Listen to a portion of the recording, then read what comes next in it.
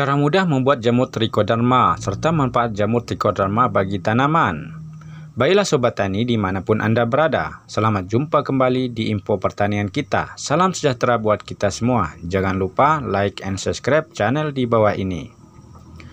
Untuk kali ini kita akan sedikit berbagi tip tutorial sederhana dari kami, yakni cara mudah membuat jamur trichoderma serta manfaat jamur trichoderma bagi tanaman atau cara membuat trichoderma alami. Namun sebelum lanjut, sekilas tentang trichoderma sebagai pupuk biologis dan biofungisida. Berikut penjelasannya. Baiklah Sobat Tani di mana pun Anda berada, di hadapan kita ini ada ter telah tersedia bahan-bahan yang kita telah kumpulkan untuk membuat trichoderma. Bahan yang pertama yaitu akar bambu dan berikut tanahnya yang telah kita ambil serta daun bambu serta nasi dan berikut wadah. Bela sobat. Uh, simak terus channel ini. Jangan di skip-skip agar sobat sekalian tidak gagal paham dalam proses pembuatan trichoderma tersebut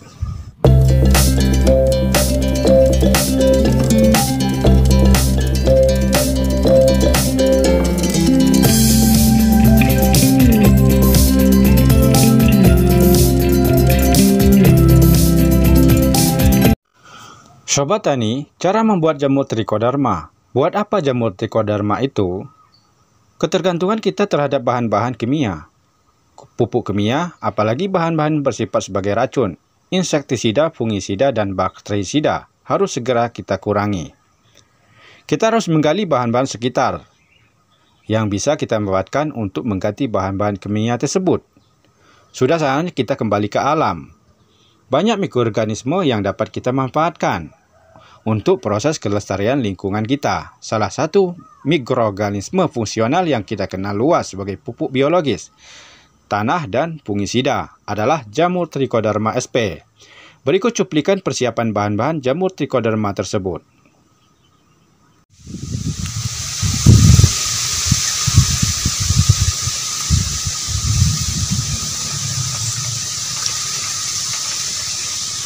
Baiklah Sobat Tani di mana pun Anda berada Di hadapan kita ini adalah Salah satu bahan-bahan untuk cara pembuatan trichoderma Untuk kali ini yang kita kita ambil Yang pertama adalah akar bambu. Akar bambu kita ambil uh, Yang masih hidup. Mari kita saksikan untuk cara pengambilan akar bambu tersebut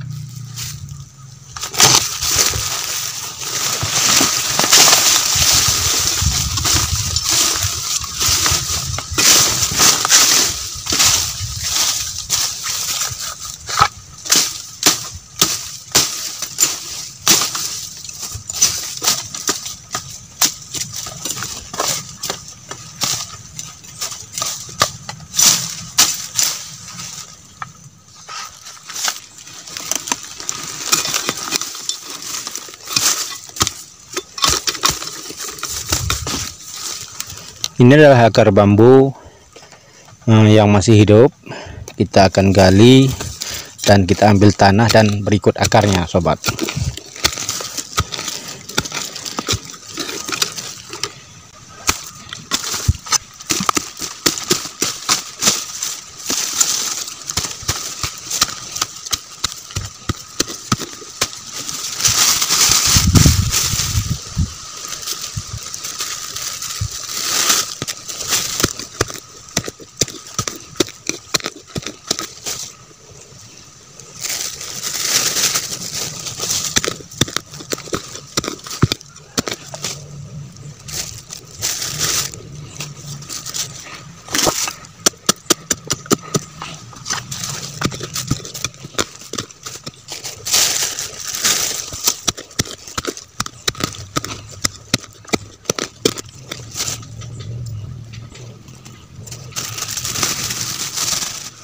Baiklah Sobat Tani di mana pun Anda berada Bahan selanjutnya yang akan kita persiapkan untuk bahan Pembuatan Trichoderma adalah daun bambu. Daun bambu ini kita ambil yang masih hijau dan masih segar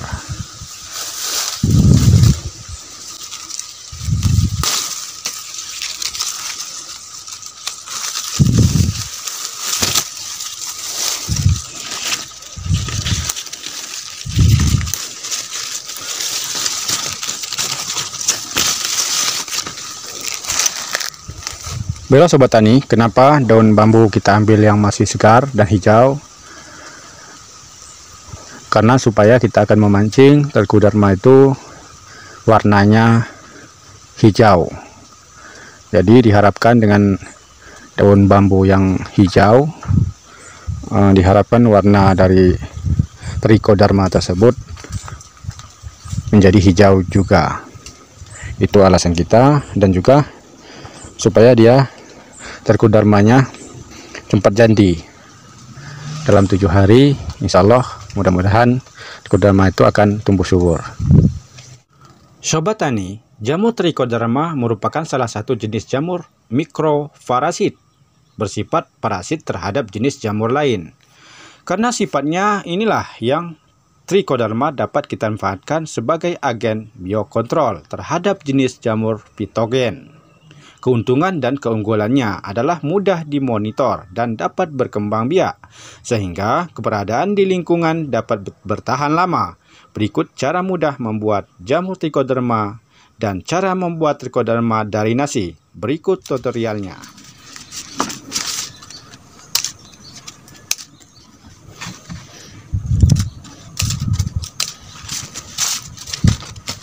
Tahap pertama adalah uh, ini adalah akar bambu. Uh, berikut sama tanah-tanahnya. Tahap pertama kita letakkan di toples ini dengan rata sekeliling toples tersebut.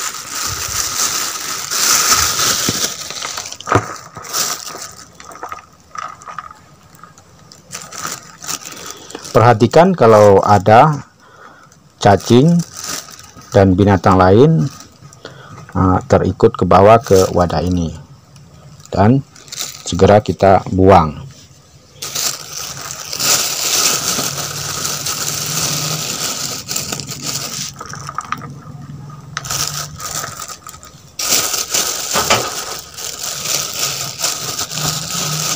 Kenapa kita harus memberikan akar bambu dan tanah bambu, sobat? Karena ini diyakinin akar bambu adalah pemancing. Pemancing uh, jamur trichoderma serta tanahnya adalah bersifat dingin. Makanya kita harus uh, ambil bahan-bahan seperti yang di hadapan kita ini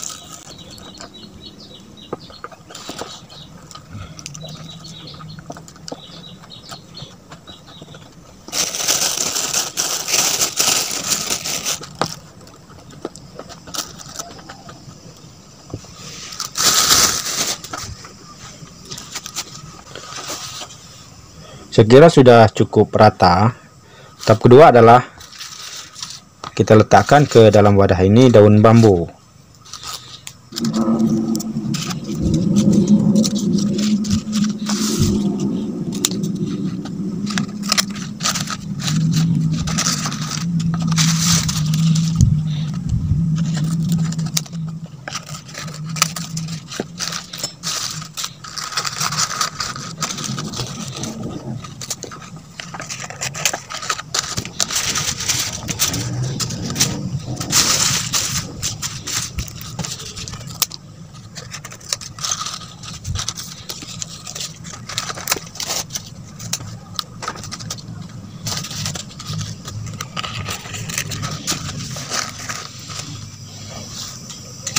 Baiklah sobat, setelah dalam terus ini daun bambu kita susun dengan rapi, kita berikut adalah kita letakkan nasi ini ke dalam wadah tersebut dengan merata.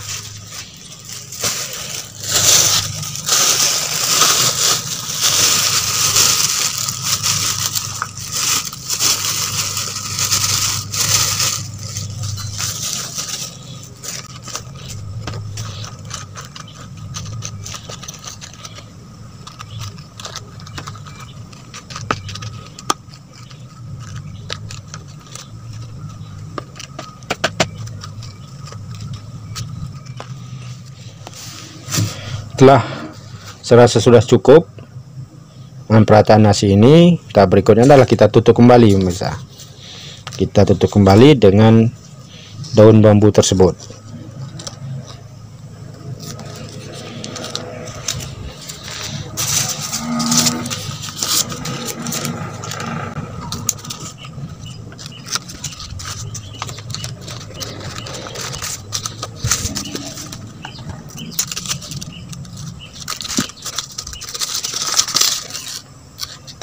sisi begini pemirsa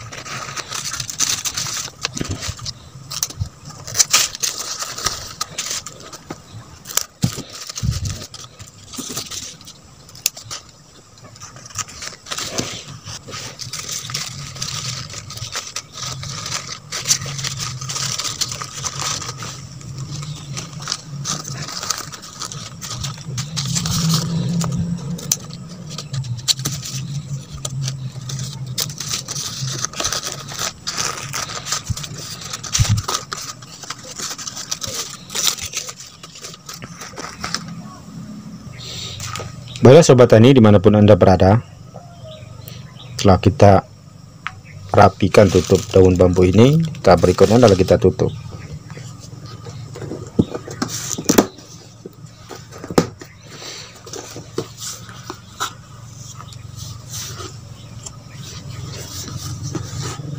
Setelah kita tutup dalam wadah toples ini kita simpan di tempat yang gelap dan sejuk.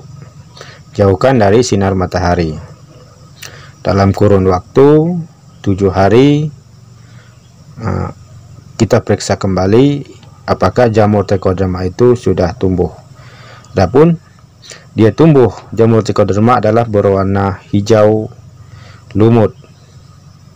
Dan ini saya yakin sengaja dalam video ini kita tidak tunjukkan untuk proses pemanenannya karena saya yakin dengan cara model seperti ini pengalaman kita 100% berhasil sobat mungkin itu tutorial dari kita. Saksikan terus channel ini uh, untuk cara uh, pemanenan jamur uh, trichoderma berikutnya.